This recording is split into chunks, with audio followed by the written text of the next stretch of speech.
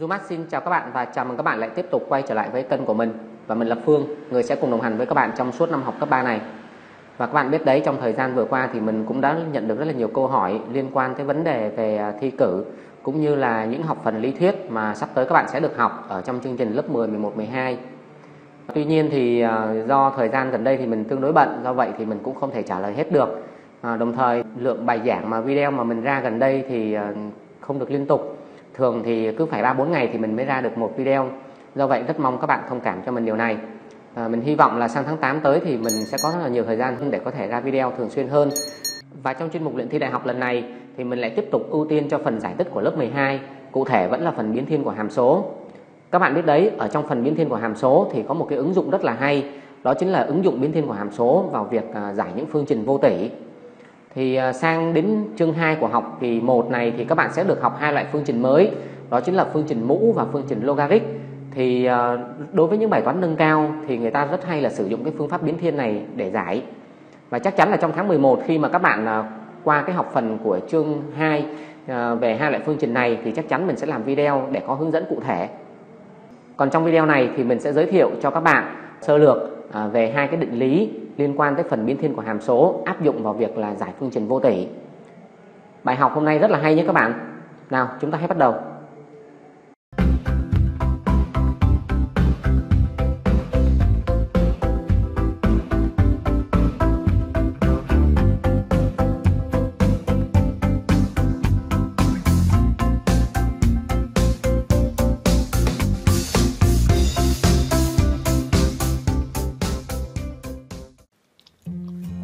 Đầu tiên chúng ta sẽ đi vào định lý thứ nhất, Đó là cho hàm số y bằng fx luôn biến thiên đơn điệu trên khoảng AB là con của tập xác định D. Ở đây biến thiên đơn điệu có nghĩa là à, nó sẽ luôn đồng biến hoặc là chỉ luôn nghịch biến trên cái khoảng AB này thôi nha các bạn. Khi đó phương trình fx bằng 0 sẽ có nghiệm duy nhất.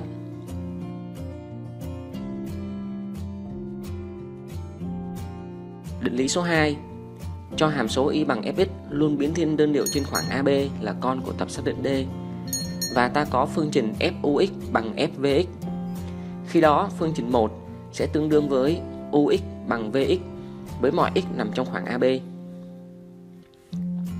Như vậy dựa trên hai định lý này thì chúng ta sẽ tiến hành vào giải những cái bài tập liên quan tới phương trình vô tỷ.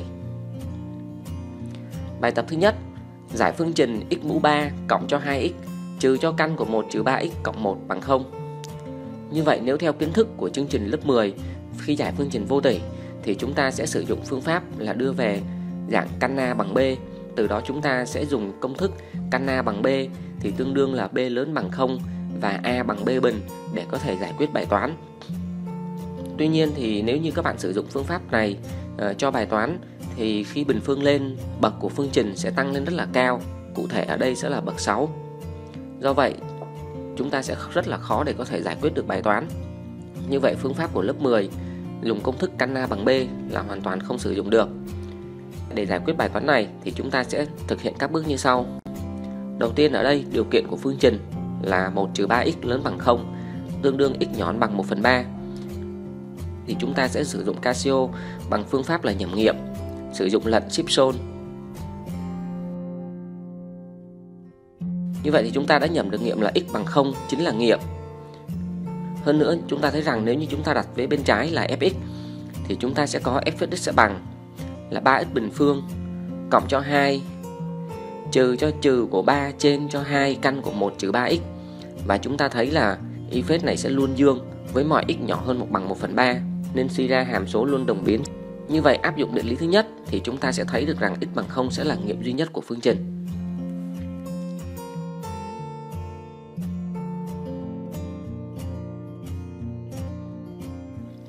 Tiếp đến chúng ta qua bài số 2 Giải phương trình, x mũ 3 cộng 3x bình phương cộng 4x cộng 2 bằng 3x cộng 5 tất cả nhân cho căn của 3x cộng 4 Điều kiện ở đây sẽ là 3x cộng 4 lớn bằng 0 tương đương x lớn bằng trừ 4 phần 3 Các bạn thấy là ở vế bên trái thì sẽ có mang dáng dấp ờ, của một hàng đẳng thức bậc 3 Do vậy, ở vế bên trái thì chúng ta sẽ tắt thành x mũ 3 cộng 3x bình cộng 3x cộng 1 như vậy sẽ còn dư là cộng x cộng 1 Còn vế bên phải thì chúng ta sẽ tách 3x cộng 5 thành là 3x cộng 4 cộng 1 Tất cả nhân cho căn của 3x cộng 4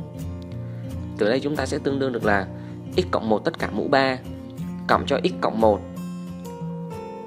Vế bên phải là chúng ta nhân phân phối Thì chúng ta sẽ có được là căn của 3x cộng 4 tất cả mũ 3 Cộng cho căn của 3x cộng 4 Như vậy chúng ta sẽ thấy được rằng vế bên trái chính là f của x cộng 1 và vế bên phải chính là f của căn của 3x cộng 4 trong đó ft sẽ bằng là t mũ 3 cộng t.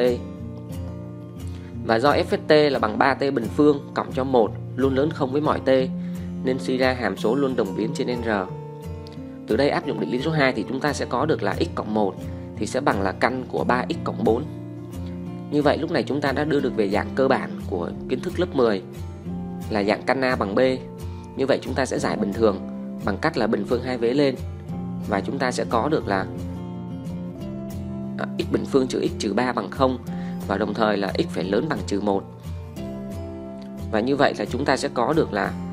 x sẽ bằng là cộng trừ căn của 13 trên 2 và ở đây chúng ta sẽ lấy là nghiệm là x bằng 1 cộng cho căn 13 trên cho 2 do là 1 cộng căn 13 trên 2 thì sẽ thỏa là lớn hơn trừ 4 phần 3 và đồng thời là cũng phải lớn hơn trừ 1 như vậy là mình đã giới thiệu xong cho các bạn phần áp dụng biến thiên của hàm số vào giải phương trình vô tỷ. Thì ở phần biến thiên hàm số này các bạn còn biết những ứng dụng nào nữa không? Hãy để lại comment ở phần bình luận phía bên dưới cho mình nhé. Và mình cũng nhắc lại cho các bạn rằng ở tháng 11 thì mình sẽ nhắc lại vấn đề này ở trong phần là giải phương trình mũ và phương trình logarit nâng cao. Các bạn nhớ đón theo dõi nhé. Do đó nếu đây là lần đầu tiên các bạn ghé thăm kênh của mình thì đừng ngại ngùng gì nữa, hãy bấm ngay nút đăng ký, đồng thời bấm chiếc chuông nhỏ nhỏ bên cạnh để có thể đón theo dõi những bài giảng mới nhất chỉ có tại Zoomat TV nhé. Mến chào và hẹn gặp lại các bạn ở những bài giảng tiếp theo. Thân ái và chúc các bạn một ngày thật vui.